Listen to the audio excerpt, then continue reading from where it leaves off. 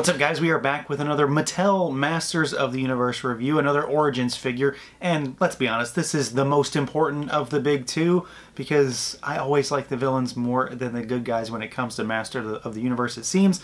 So today we're taking a look at old Boneface himself. We have got our newest Skeletor figure, this time in the Origins line, and just like He-Man, he comes on just the most beautiful of vintage retro style card backs every time I see this package, it just fills me with joy because it's such a cool packaging design. Everything about it, from the bubble to the backer card to the layout on the back, it's all just nostalgic goodness for me. So we've got this guy here on our Origin style card. You've got the Lava Burst logo on the back, Masters logo at the top. You've got the new for 20 and the retro play call out, so you know it's not an old figure. Skeletor in that very, very familiar Motu bubble. And then the back of the package has got some fantastic new card art and then a demo of how his accessories work, as well as a cross-sell for everything in Wave 1. So let's do it. Let's pull him out and take a look. And here he is out of the package, our evil Lord of Destruction himself, the Boneface Skeletor, and this is probably the figure that I've been looking forward to the most in Wave 1.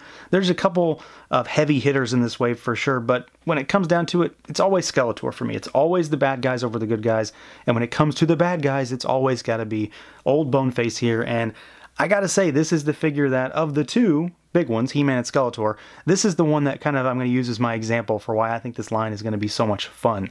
Because there's a lot of cool stuff going on here. Sure, it is very similar to He-Man, but it doesn't have some of the issues that I have with He-Man, and there aren't exactly a lot of those.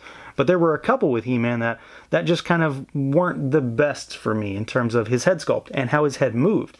This guy doesn't really have any of those problems. I think this is a very, very true to form Skeletor when it comes to taking that vintage design and just changing it up a little bit.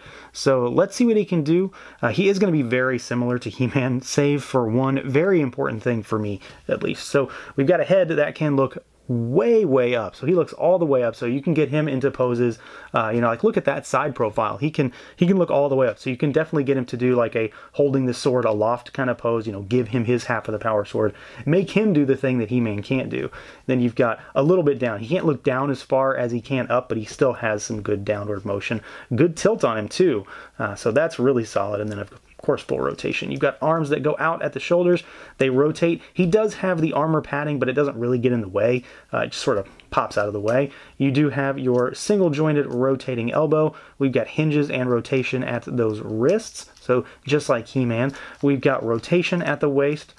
And then you've got legs that go pretty much all the way out. They kick forward only about that far. You can get them to go a little bit if you twist them a little bit. And then you've got legs that kick backwards. There is no real thigh cut to speak of here, or no hip movement really. You've got a single rotating knee. And then you've got uh, boot cut, you've got rocker and hinges down at those ankles, and there's really nothing getting in the way of those. So really the only area where he's got maybe some limited mobility is at the hips, but otherwise he moves really, really well. I mean, the argument could always be made that maybe he could have used a few, a few more cuts, just like the rest of the line in general.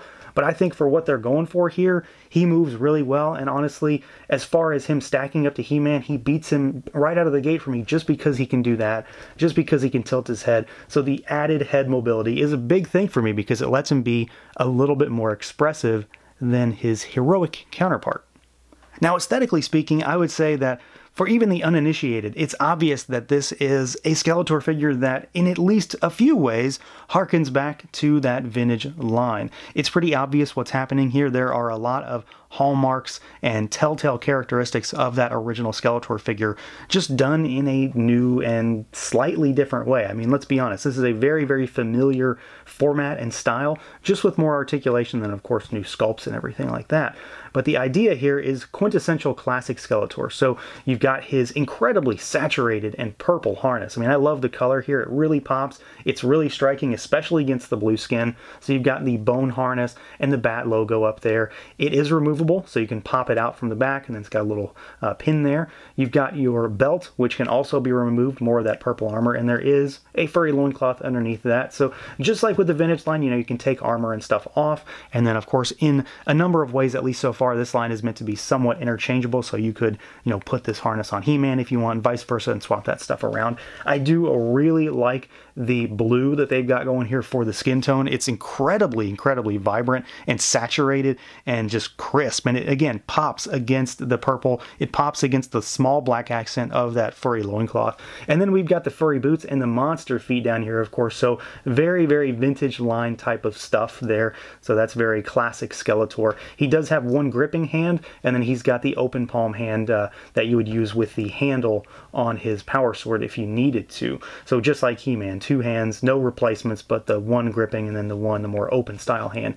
And I really just like everything about this guy. It very much screams vintage look, while at the same time being obviously its own thing. The feel of the plastic is really nice. The heft, the overall sizing here, it's it's spot on. It fits with the vintage stuff quite well. And then of course he also sizes up to He-Man quite nicely. But of course, just like with He-Man, the big big difference here is the head sculpt. Although I don't think Skeletor here strays quite as far away from the norm. Because while it's definitely a different thing as far as the overall sculpt and just appearance here, it's Telltale Skeletor stuff. So you got the green and the yellow, you got the obvious bone teeth going on there. The big difference is that he has this, you know, kind of maniacal looking grin, open mouth on his face, and I think it looks all right for the most part. The eyes are a pretty deep red, which I do uh, like quite a bit, so there's no real issues there. The hood looks really good. It's got some nice sculpt to show some wrinkles in there. I do think that maybe there has been a little bit of detail lost between the original prototype shown and the production model. This guy looks slightly less finished, so to speak. It doesn't look quite as polished, I guess is the best better way to say it. But as far as, you know, this guy being purchased at retail for this price point in this style of line, I do think he looks fine. I really don't have any true issues with it. In the same vein that I'm not a big, big fan of that He-Man head sculpt just yet, it still hasn't really grown on me yet.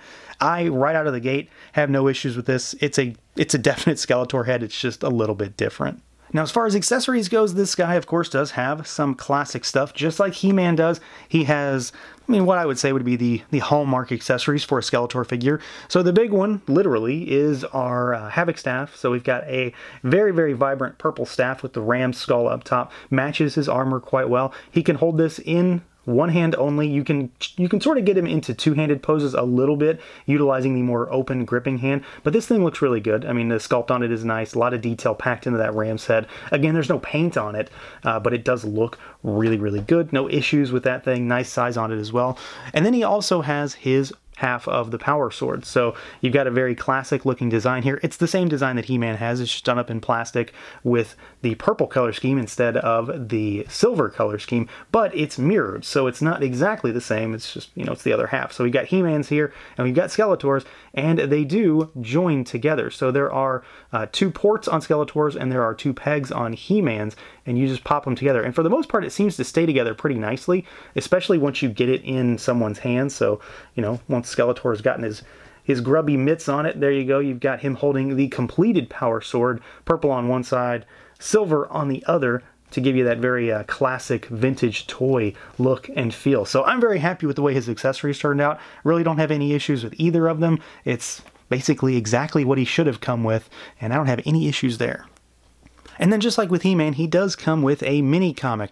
But what I find interesting, and I guess I didn't pick up on this or I missed it, is that every figure in the same wave is going to have the same comic. So this figure does come with the same Beast Barrage comic that He-Man came with. Exact same, uh, nothing different here. Really good story, good art, nothing really to write home about outside of the fact that I've got two of them now, but I like the fact that we're getting these. It is, again, a very nostalgic thing. It is a very, very vintage feel for the line itself. So I'm really excited that we're getting these. I don't know that after buying the entire wave, I'm going to need a whole stack of the same comic, but I do like the fact that they're doing this, and I hope that these do not stop. So you'll get your Beast Barrage comic alongside your Skeletor figure, just like you got with He-Man. And then as far as comparisons go, since there is no other Skeletor in this line yet, we'll compare him next to the He-Man figure that I previously reviewed, just to give you an idea of what they look like next to each other, uh, so you can see that they pretty much size up quite well. I still think that, you know, when it comes to comparing the two as far as favorites, Skeletor's going to win for me for a number of reasons, really, but I think it's just, it gives more of a Skeletor vibe. I still don't think I'm fully sold on that head sculpt for He-Man, but they do look really, really good together. I mean, seeing these two new He-Man Skeletor figures next to each other definitely does it for me just on a nostalgic level. And then because I did it for the He-Man review, here's Skeletor next to my original vintage Skeletor, which isn't quite as beat up as my He-Man figure is. This guy at least survived a little bit more. Uh, he's been existing in a Roton for a very long time.